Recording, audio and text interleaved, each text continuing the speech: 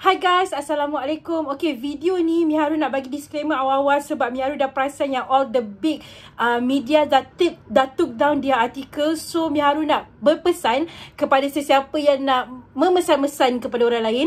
Take this news as a grain of salt sehingga pagi Ahad nanti kalau Marvel reveal it maknanya dia betul jika tidak take it as a rumor sahaja okay Miharu nak bagi disclaimer awal-awal sebab Miharu takut nanti ada peminat yang terbawa-bawa because bila big media dah took down dia artikel maknanya benda tu atau betul ataupun benda tu akan melanggar undang-undang Antara dua. So, bila Komibo.com dah took down the article, Miaru pun akan berjaga-jagalah untuk cover this video. Macam Miaru cakap, take it with a grain of salt. Jangan terbawa-bawa, okay? So, according to Reddit semalam, digembar-gemburkan di mana um, dekat European Agency untuk trademark, um, Marvel telah trademark beberapa nama. Ada macam lima projek akan datang.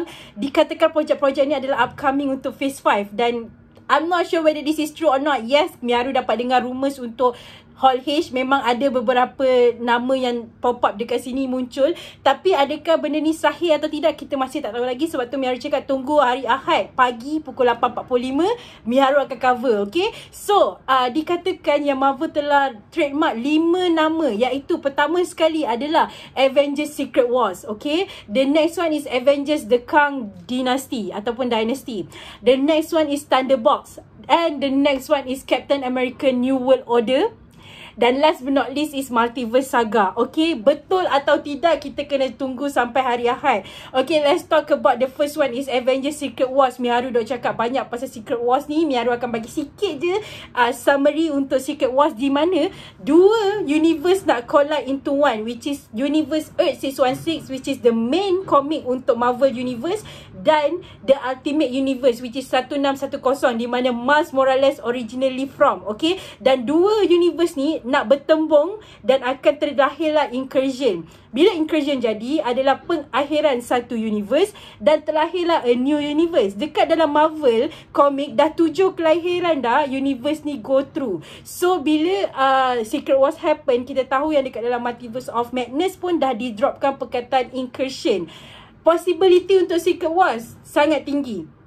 Itu je Miharu boleh cakap. Adakah Miharu tak sabar nak tengok uh, Secret Wars is a big event sebab kita tahu dua dua superhero team bertembung dalam dua universes dalam dua universe yang lain. Okay, kita ada Avengers daripada Ultimate Universe, kita ada Avengers daripada Original Universe. Korang bayangkan tak betapa banyaknya dua variant bertembung. So it's going to be big, okay? So the next one is Avengers Kang Dynasty. Di mana dekat dalam komik uh, ada satu ketika Kang dapat tahu yang bumi ni, Earth ni akan berakhir dengan cara yang tak best. Maknanya pengakhiran Earth ni tak pernah ada yang bagus. Semuanya semuanya pengakhiran yang gelap dan sedih. So apa yang Kang dengan anak dia Marcus iaitu ketika itu Marcus mengambil alih nama Alpha Centurion. Alpha Centurion di mana dia ke bumi bersama dengan bapa dia tu Kang untuk menakluk bumi. Kang cakap, "Weh, bagilah aku tolong. Kalau aku tolong korang, kalau korang bagi aku bumi, aku janji dengan korang bumi tak akan hancur macam mana sepatutnya."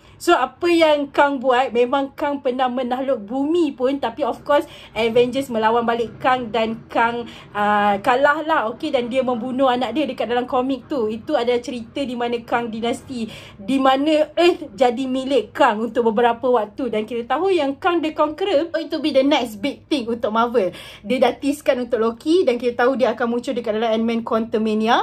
Jadi Miharu tak sabar untuk tengok the next one. The next one is uh, Thunderbolts. Kita semua tahu tahu yang Thunderbolts ni merupakan a uh, team of super villain dalam original comic. Okay, kita tahu Thunderbolts ni ada berbagai-bagai. Okay, ada uh, berbagai-bagai members lah. Okay, ada yang cakap Taskmaster, ada Winter Soldier, ada Black Widow, Luke Cage pernah join Thunderbolts and of course uh, Hawkeye, Norman Osborn. Okay, ramai dekat dalam komik ramai. Tapi dekat dalam MCU ni mungkin kita akan tengok penukaran uh, ahli-ahli lah untuk Thunderbolts. Yang kita tahu Ghost dalam Ant-Man and the Wasp yang dia facing tu yes Ghost may, might be one of the best character to join Thunderbolts and of course Red Hulk.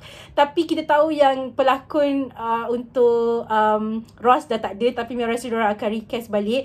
And of course Yelena Bolova Okay, Yelena Volova can be part of Thunderbolts and of course Abomination. Okay, kita tahu yang Abomination pun dah kembali dan dia akan buat dia punya appearance officially return uh, dekat dalam She-Hulk nanti. So, Miaru tak sabar. And the next one is of course US Agent. Uh, kita dah jumpa US Agent dekat dalam Falcon and Winter Soldier. Um, dan kita akan jumpa dia lagi nanti. Miaru tak sabar juga sebab I really love US Agent. Dia dapat membawa watak dia sebagai US Agent tu. And the next one is of course Baron Zemo aka Helmet Zemo. Uh, mungkin dia akan jadi the benefactor ataupun orang yang menyumbang banyak juga dalam Thunderbolt sebab kita tahu Baron Zemo got money man. Um, So I really can't wait to see that. And of course katanya um, White Vision boleh masuk juga dekat dalam Thunderbolt hmm, Not bad, not bad kalau White Vision di cast um, Then there's always a possibility. Taskmaster, kita dah ada Taskmaster dekat dalam Black Widow. I'm not sure whether we gonna see her again uh, Tapi Mia rasa kalau diorang nak add Taskmaster dekat dalam Thunderbolts pun not bad Sebab he, memang dia part of the original Thunderbolts dekat dalam komik So Mia harus sangat tak sabar. Next one is of course Captain America New World Order. Uh, Dia dekat dalam komik ada tentang benda ni. And dia dapat tahu yang there's something fishy happening uh, Behind the back door. Ada a, a new organisation after Hydra. And kita dapat tengok this is might be the first movie untuk Sam Wilson. Mia harus sangat tak sabar. To see my first uh, My forever my, I, I love Sam Wilson as Captain America Yes, uh, Steve, uh, Chris Evans will always be the the first Captain America. Uh, the second one is of course US Agent. But I accept Sam Wilson as my Captain America too. Okay. Uh, Miaru dekat dalam team tu. I accept him. Okay.